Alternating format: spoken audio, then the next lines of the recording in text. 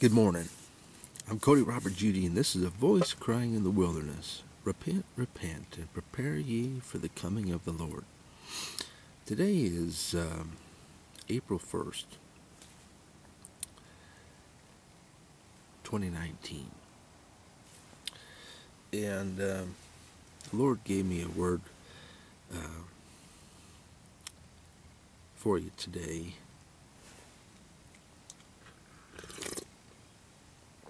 And if I was to uh, title this video, I would I was in, I would entitle it uh,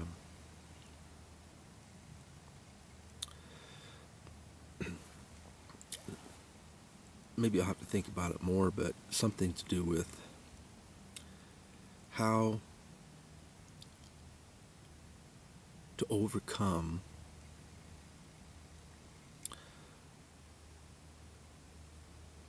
molestation and overcoming sins that are perpetuated to the third and fourth generations.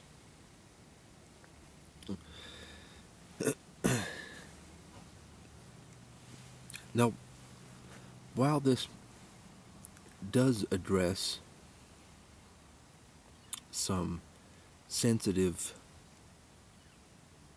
um, circumstances, criteria, would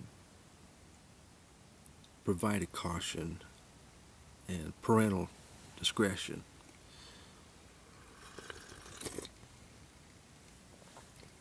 But that's exactly who it's for. And specifically, why the Lord gave me the information um, that He gave me. Um, there's a lot of man haters out there who are angry and mad at men because of their testimony of molestation, being molested by fathers, by brothers, uncles, family members. It's a big problem.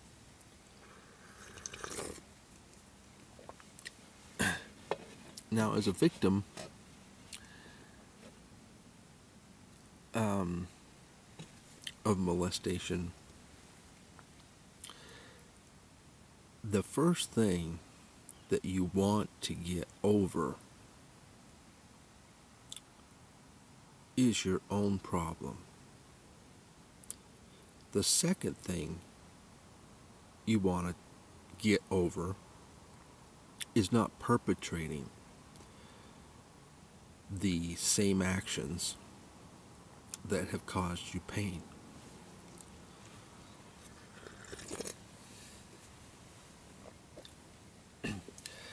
and there's some specific words of counsel the Lord has given on the subject.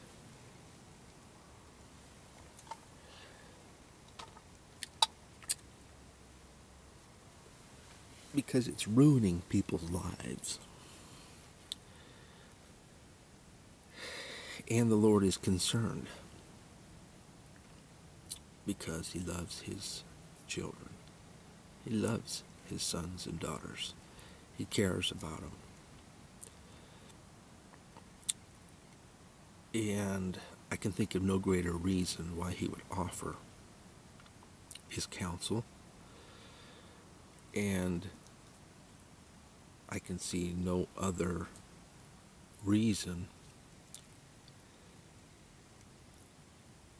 in overcoming our sins and our iniquities that we wouldn't or shouldn't seek his counsel.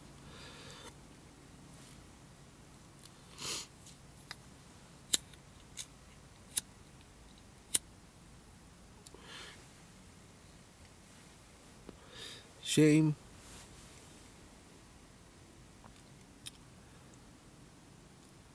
by the devil is used flagrantly. He loves the tool. The devil loves the tool of shame.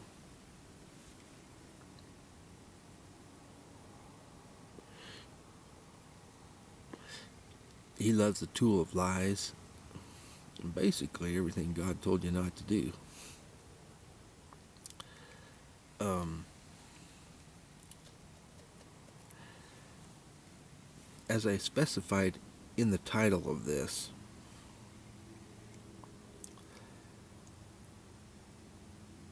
I want to go to the confounding and um, monumentally huge important scripture.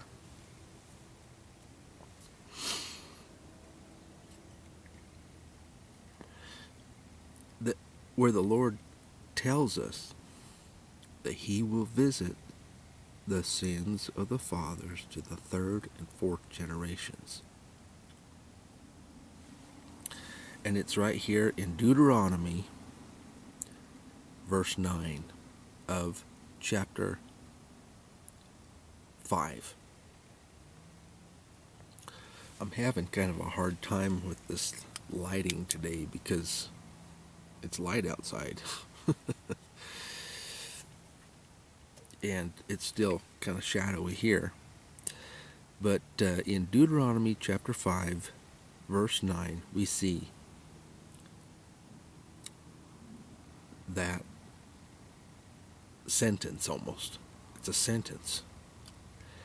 And in our challenge, we have two choices choose life or choose death. Those are the two choices.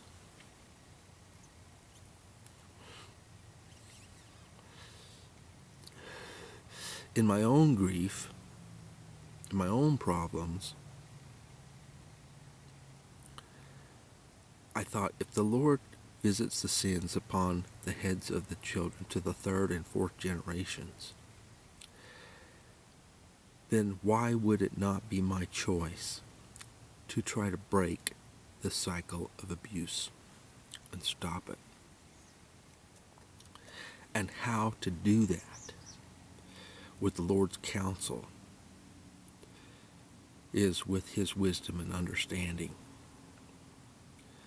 And I believe that can help a lot of people, and that would be the goal here with this video. And I've written a lot about it too. Because it affects so many people, so many children, so many adults. It's a problem that needs to be dealt with. Now the Lord says in chapter, uh, verse 9 of chapter 5 of Deuteronomy, Thou shalt not bow down thyself unto them, nor serve them. For I, the Lord thy God, am a jealous God, visiting the iniquities of the fathers upon the children unto the third and fourth generations of them that hate me. Now, that should be a huge incentive for anyone who hates God.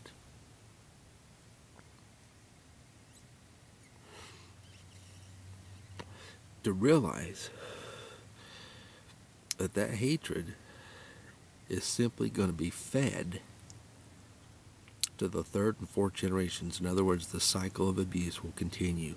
You're not doing anything. It's it's your choice it's your right to stand up to the devil.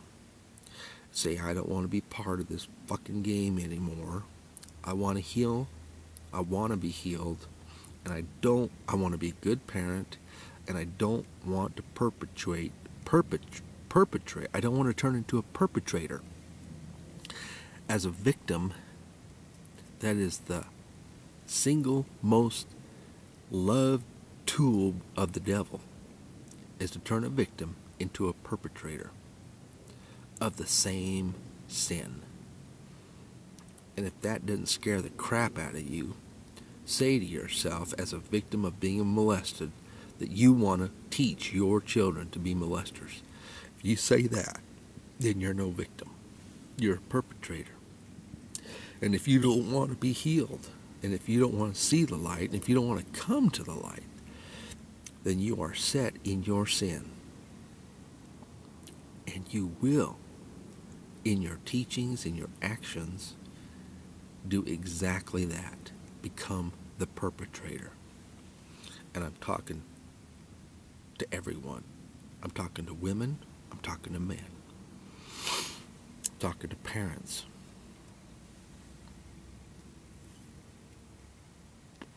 Now, if the Lord visits the sin to the third and fourth generation, how in the world can you stop and break this cycle of abuse?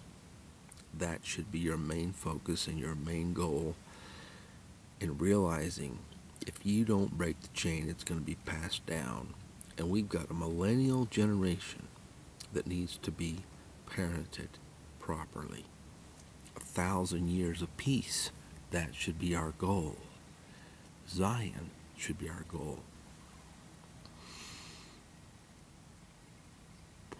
You may hate God, but I'll bet you love your children.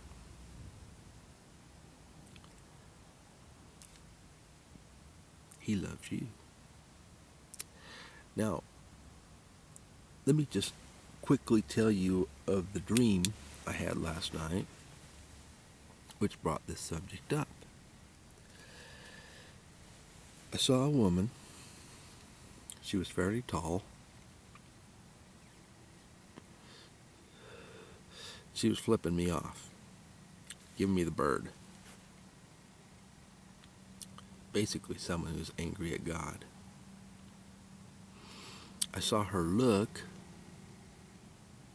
in a basement. She was in a basement.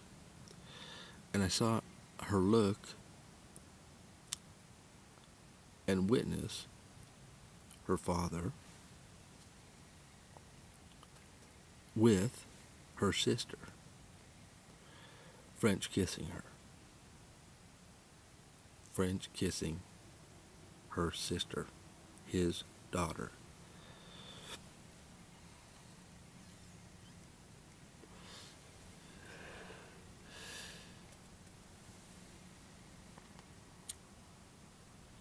A molestation was in the process. Now, in healing this and in choosing life, there are many different circumstances and situations, and I don't intend to address every single one of them. And I realize that they are very different. I do have a psychology major.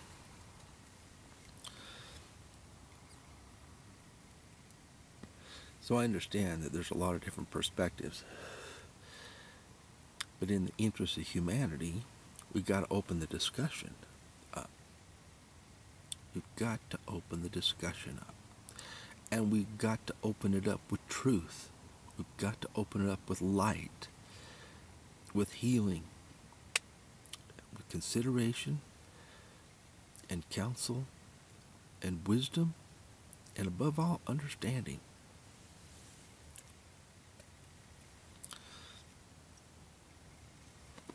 Now, the next scripture I want to go to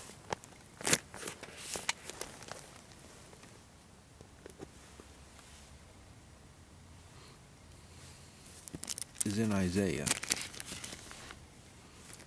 Isaiah 49, chapter 49. Sorry, I got to use this light too. using about three lights here. Um, speaking of light, um, we're going to go to Isaiah chapter 49 and we're going to start in verse 4. Then I said, I have labored in vain, I have spent my strength for naught, and in vain, yet surely my judgment is with the Lord, and the work with my God. And now saith the Lord that formed me from the womb to be his servant, to bring Jacob again to him through Israel, though Israel be not gathered.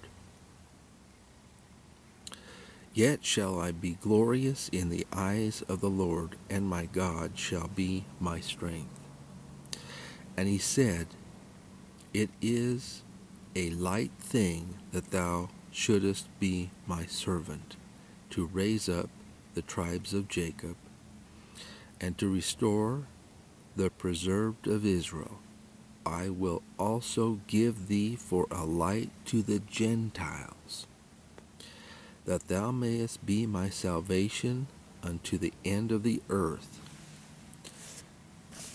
Thus saith the Lord. Verse 7 The Redeemer of Israel and his Holy One, to him whom man despiseth, to him whom the nations abhorreth, to him whom the nations abhorreth, to a servant of rulers, kings shall see and arise. Princes also shall worship, because of the Lord that is faithful, and the Holy One of Israel, and he shall choose thee.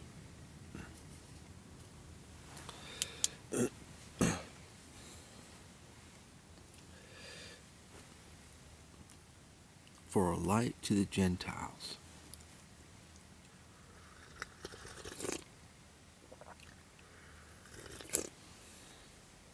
a light. A light is a new dawning. A light is a, a beacon of truth in the darkness.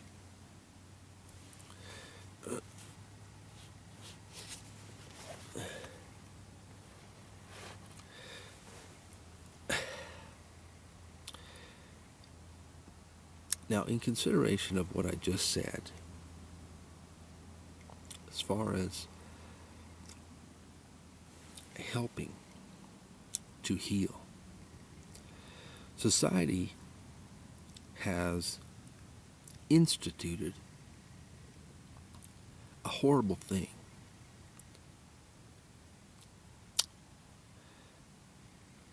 In the shame of someone, shaming of someone who has been molested. In two different ways number one, directly to the person that was involved in the molestation, incest, or family sexual circumstances.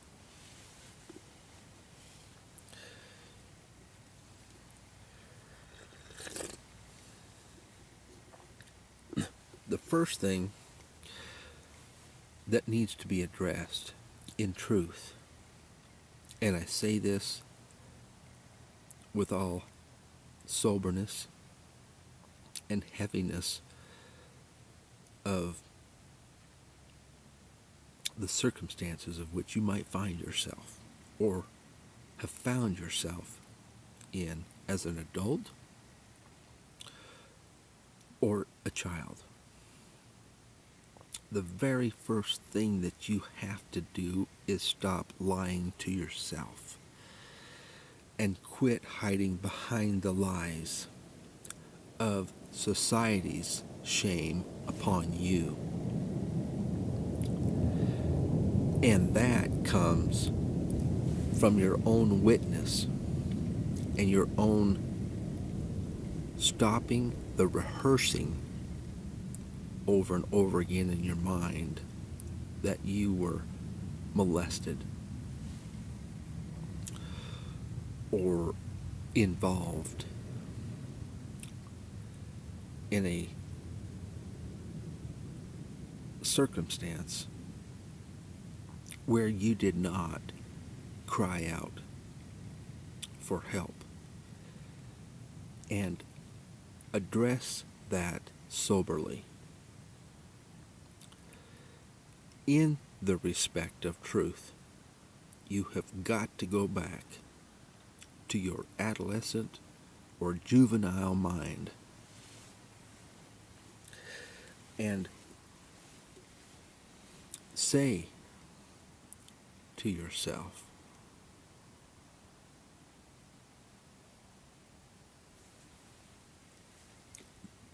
the emotions that were true, the feelings that were true. You've got to hold those in truth and light.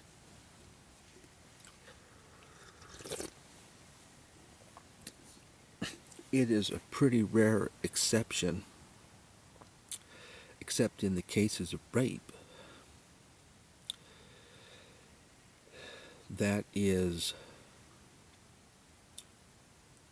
more on the adult side of the situation where if a woman was being raped, she would be calling out and screaming and resisting any way that she could.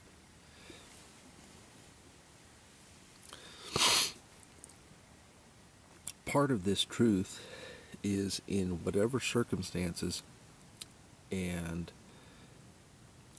um, portion of your life that you were in when this happened. Now, the example that was shown to me last night in the dream was one of mostly adult figures. Um, I want to say that the the kids or the sisters in that dream were on the of the age of around I want to say 25 to 30 and the father upwards of 50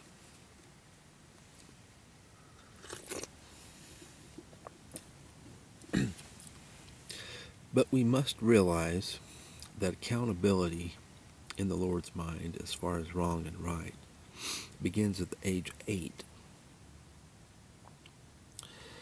And that from the ages of eight and below, the children are considered um, innocent in their ability to navigate right and wrong. and after the age of eight, they've acquired a little bit more handle on being able to dis- their own discernment.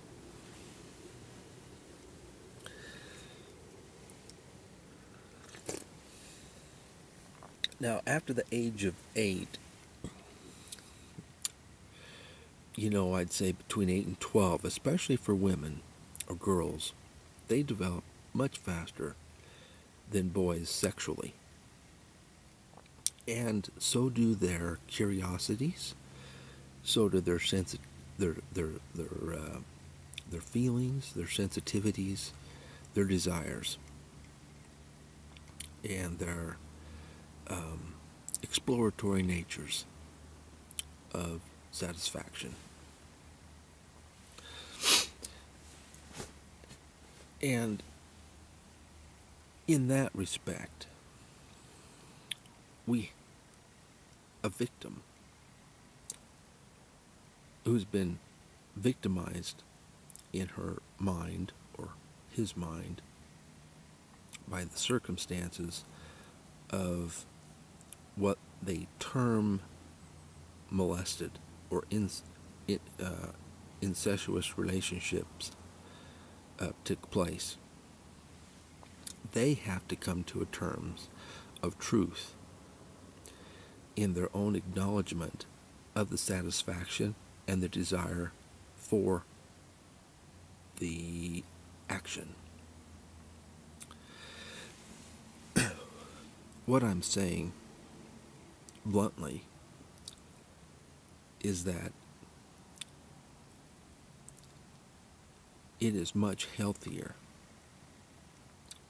for you to over in overcoming even society's perpetuated shame to say and to recognize anything about the experience that you actually enjoyed.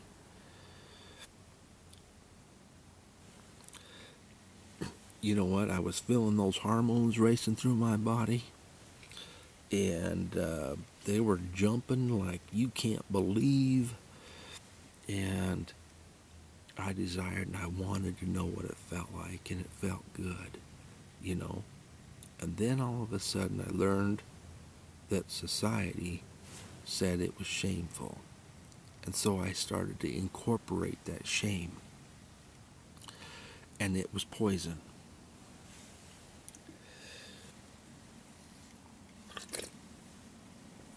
Now, in healing,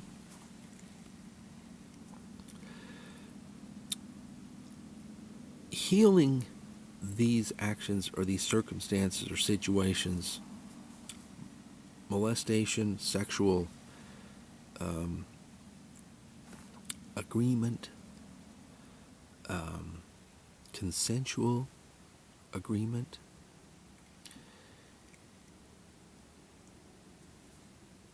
Even in a juvenile's mind.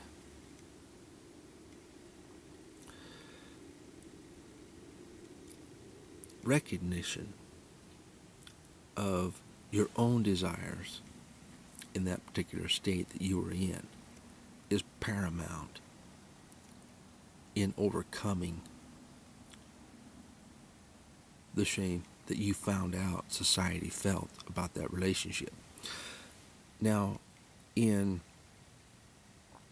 a healing projection, a healing projection, not a victimization projection. There's a difference. In a healing projection, it is wise to search the scriptures and find out if there is any situation that happened like the situation you were in or experienced where it was acceptable and looked upon as good or justified by the Lord. And in this particular circumstance and situation we're talking about, we would go to Genesis, the book of Genesis,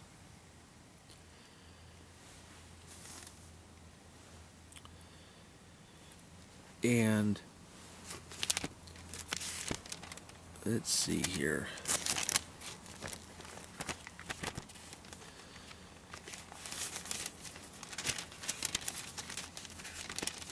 I want to go back to um,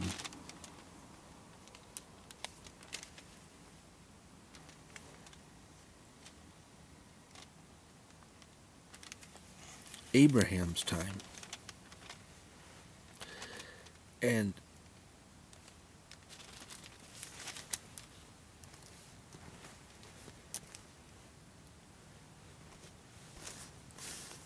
there are circumstances and situations where a union was created between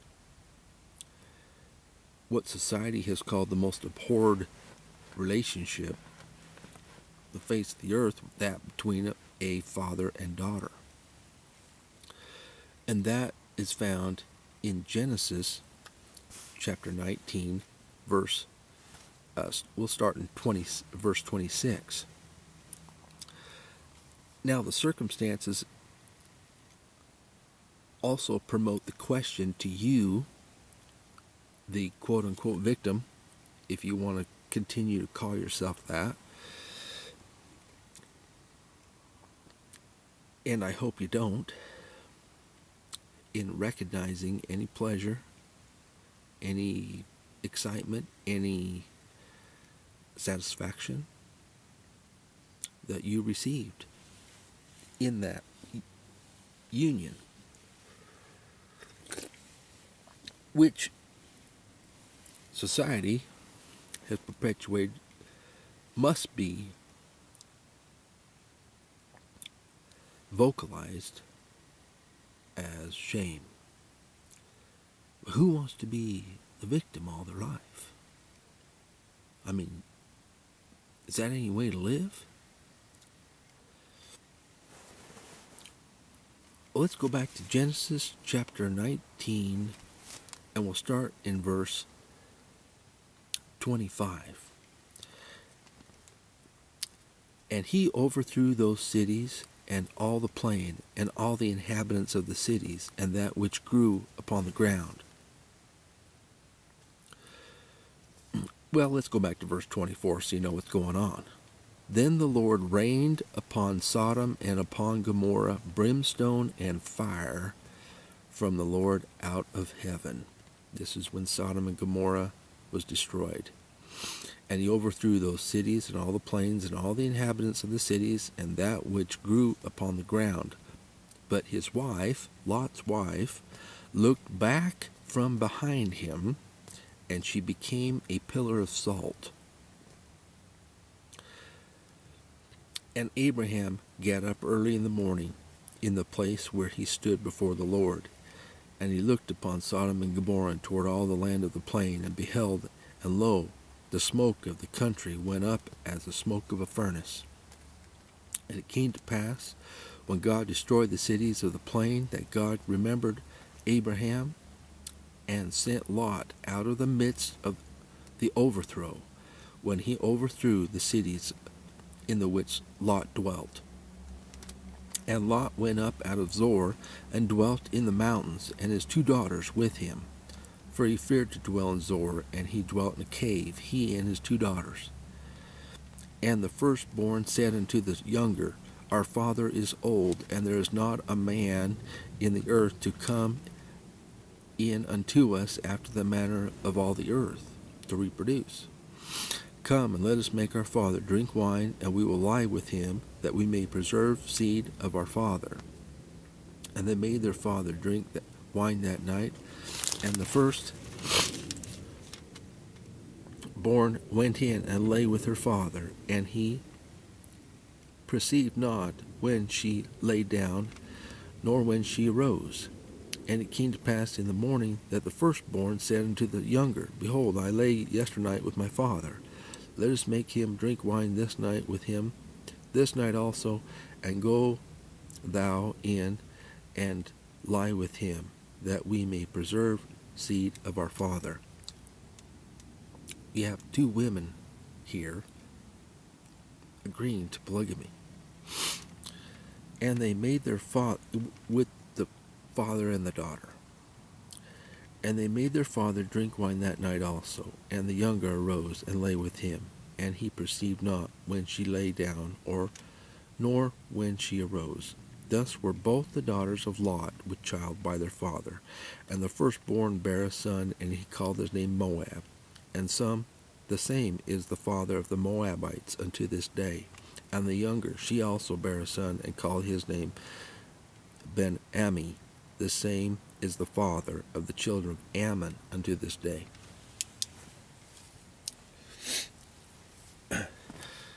Now, in the preservation of Lot and his line, the Lord certainly knew what was going to happen. And it's interesting to note that the wife of Lot is the one that turned back towards the city in her own desire for the city and all of its pleasures and all of its delicacies and all of its um, societal ways. And she was the one that was turned into the pillar of the salt. How could we compare that to the mothers of today?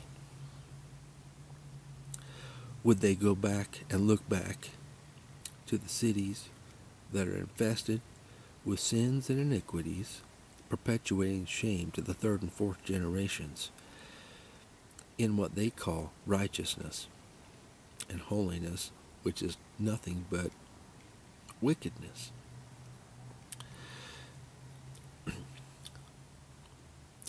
so, in at least finding a circumstance and situation in the Bible where the daughters lay with the father and it was considered righteousness, at least in finding that, you find righteousness and you free yourself from shame or guilt in answering the question that if you were in that circumstance, would you do the same thing? Would you perpetuate humanity with seed? Or let's just say you were the only person. You, your sister, your father were the only person left on earth. Would you perpetuate the seed or would you just let humanity die out? In a recognition of truth, you wouldn't let humanity die out you do the exact same thing. If you're being honest with yourself and not continuing to lie to yourself. That is important. You've got to get over lying to yourself and lying with the lies that society has taught you. Not that we are condoning that relationship in this modern times. We are simply looking in history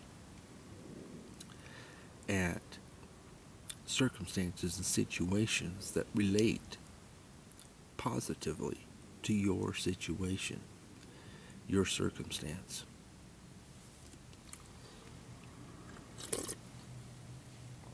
Abraham himself was married to Sarah. Sarah was his cousin. We know that through if man could count the sands on the earth, they still could not count the righteous seed the Lord has given Abraham. And in truth, twice, Abraham was told by the Lord to tell Sarah to refer to him as her brother. Twice in the circumstances that preserved Abraham's life from those who would have killed him for her because she was so fair and beautiful.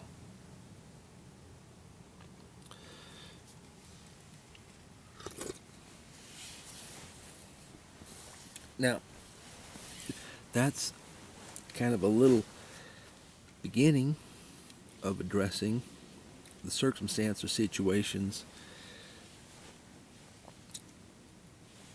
in the light of the Lord, in counsel and in understanding, and in truth.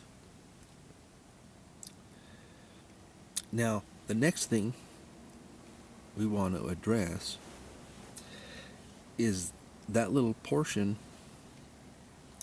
of wisdom we started out with where the Lord says he will visit the sins of the generation to the third and fourth generations and in your sincere desire not to perpetrate the same. Now, I'll address this mostly to the women in truth, it could apply to the men.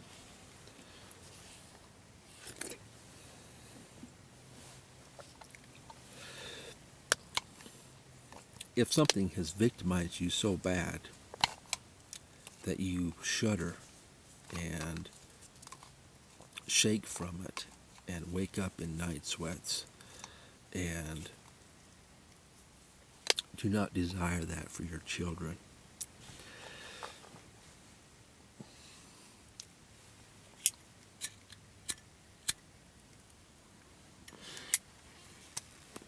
We have to look at all of the extenuating circumstances that led up to your own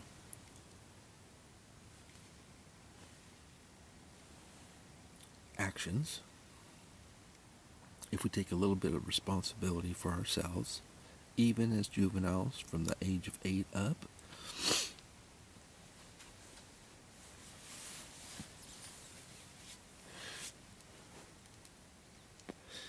But what do we have to address?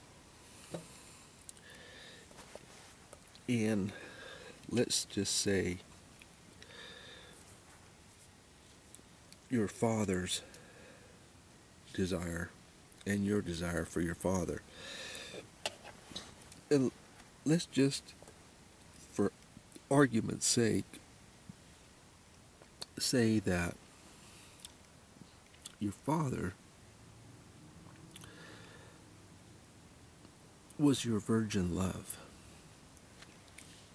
He popped your cherry, and it's very difficult not to love in some degree, especially any enjoyment that you may have had. I mean, you've got to lay down the truth and you got to stick with your feelings at the time that was happening, not what they are now. You've got to take responsibility and accountability for your own self. And the fact that you didn't run out screaming to your mother, you didn't scratch, you didn't claw away from your father.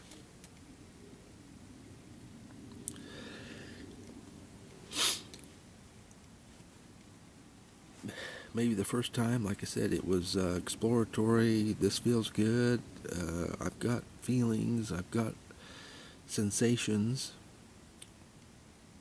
and I don't know how to handle those, and this is feeling pretty good, you know. We have to address, number one, those feelings honestly. Number two, the circumstances in which your father was messing around in. Those circumstances also play in to addressing whether you are going to perpetuate the molestation of children to the third and fourth generation. Because here's how that happens you follow the trail, you follow the yellow brick road. And we see so many times that the wife had a problem. Her sins included greed, covetousness, jealousy of her husband. And then she came to a time in her life where she didn't want sex. And she told him to put a sock on it.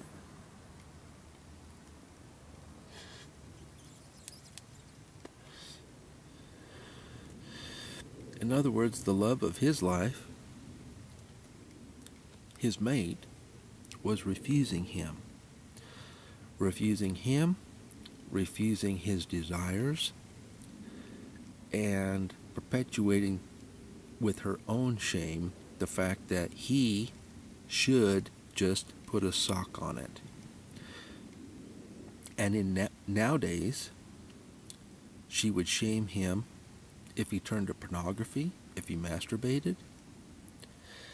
And mind you, this circumstance of marriage affects a lot of people. And in many circumstances, many situations, a woman is almost acting insanely in the fact that she no longer has two hands. She can't give him a hand because she doesn't feel like having sex down there. She says, go in the bathroom and do it, and perpetuates him into the closet. Now, if you wanted to make a summation of that in the Lord's eyes, you'd have to say she's out of her rabbit ass fucking mind.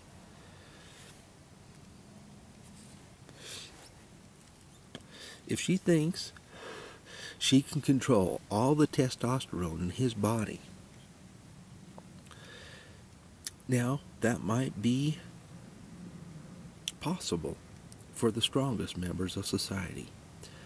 But you go down the ladder and you will find the weakest members of society that basically say, screw that, I'm not going to put a sock on it. I'll go get my satisfaction from somewhere else. And the family is the very first place they go. So we see that those three great big sins the jealousy of the wife, to keep her husband from another adult woman who could take out his his sexual orient sexual desire with in a healthy manner. When she didn't feel like being touched at all she didn't feel like having intimacy she didn't feel like giving him a hand she didn't feel like participating any iota and in that respect she expected him to basically be a woman and forget about all his testosterone and all his desires and all his passions.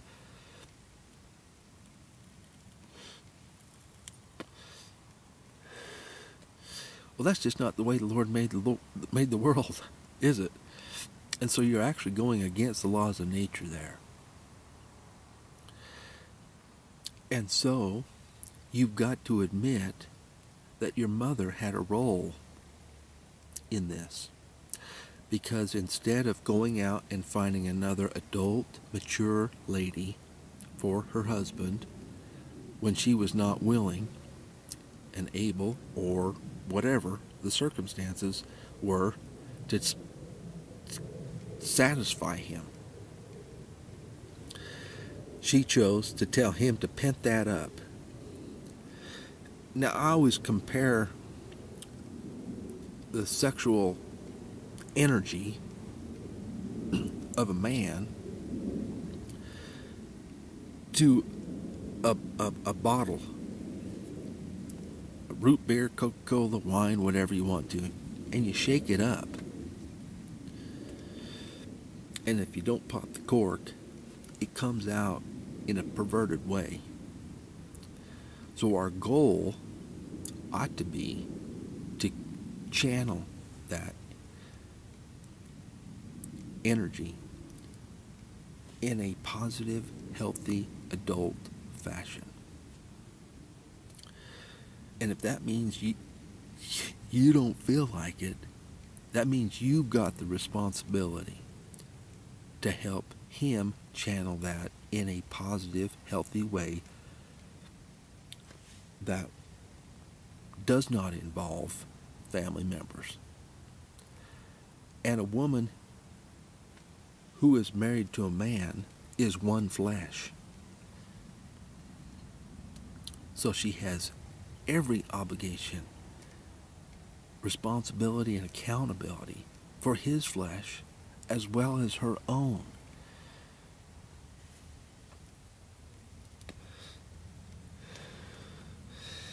Now,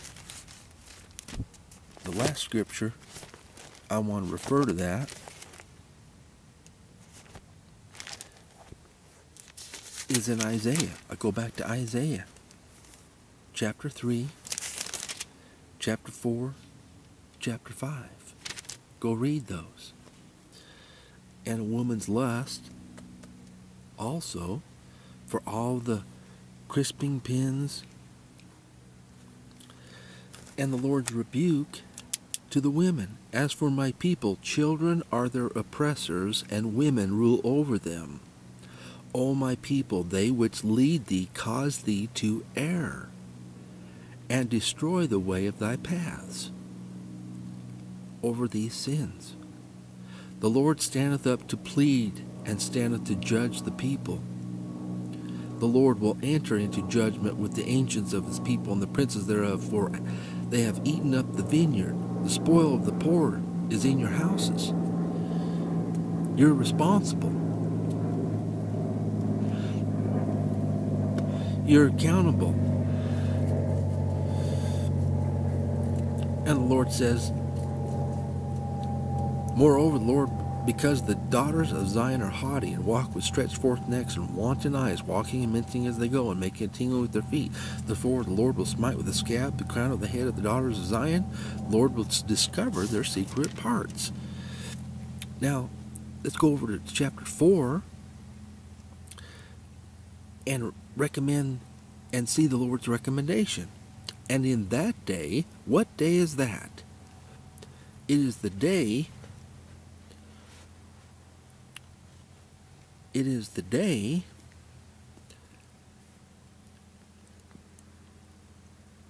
um, in verse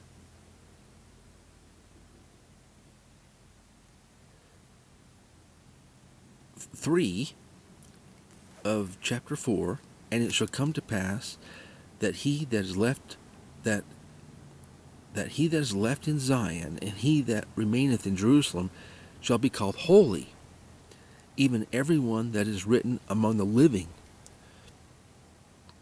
in Jerusalem, or shall we say the children of Israel. Holy, okay? So that is the day that we're talking about when he says, in that day. Seven women shall take hold of one man, saying, We will eat our own bread and wear our own apparel, only let us be called by thy name to take away